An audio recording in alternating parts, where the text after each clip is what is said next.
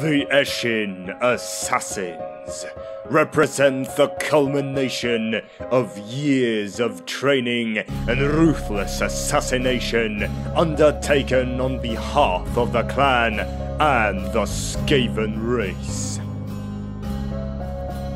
Some of the most feared Skaven to creep through the Under Empire belong to this elite group masters of poison, exceptionally skilled in the arts of hand-to-hand combat, and versed in the ways of stealth and conspiracy. These killers sell their services to any Skaven warlord who can meet their exorbitant fees. They even offer their services to humans who ask the right people and who offer the proper compensation. All Eshin warriors are trained to learn these defining skill traits, but only the assassins have the skill and experience necessary to undertake the highest tier of the clan's training. It is then that the secret arts are taught, some of which are ancient techniques studied in the Far East. But many more are unique fighting styles of the Rat Men's own design. By the end of the long initiation, an Eshin assassin can jump many times its own height, hurtle over obstacles, or backflip a great distance.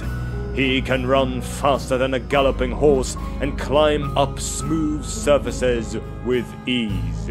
In motion, an assassin is a blur, able to rain blows upon a foe or pluck arrows out of mid-flight. These assassins are so adept at hiding in the shadows that many suspect magic at work. The final test in an assassin's training are the death missions assigned by Clan Eshin's ruling council, presided over by Lord Sneek, the leader of the clan and one of the Lords of Decay. After surviving the mission, the assassin is considered an acknowledged master of the arts it is thanks to their fearsome reputation that the Council 13 often employs Eshin's assassins in their day-to-day affairs.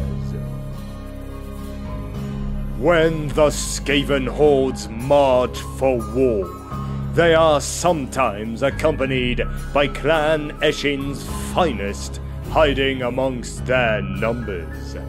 These death-dealing agents pose as a regular rank and file trooper until the moment is right. At this time, they cast off their disguise and leap into position where they can do the most damage.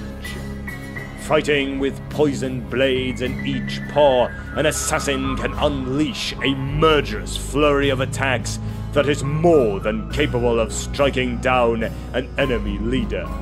At other times, an assassin will operate on the battlefield alone, working to wreak havoc behind enemy lines, setting timed bombs, or using poison shurikens to slay targets of opportunity.